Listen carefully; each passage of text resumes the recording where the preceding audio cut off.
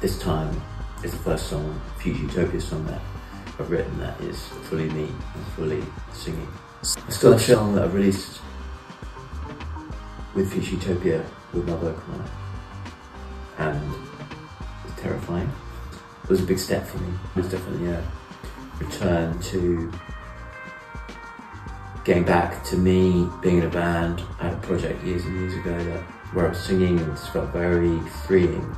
And I'm way more able to tap into my own creativity by writing songs purely my own. Well, I think this EP is massive evolution because we've gone from the role really of like a conductor in an orchestra, which is 12 questions, into the EP now, which is taking much more ownership in terms of writing hooks. I still chose to have a select few collaborators on the EP.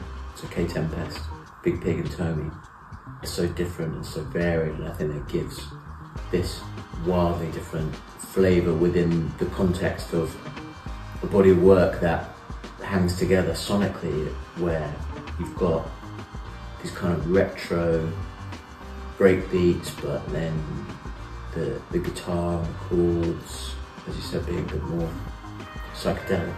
We Were We Still Are shows that the roots of where you've come from similarly to Make It Home you always come back to your roots you always come back to the to the home, to the safe space, but you're within that then free to progress. So it's really about progression.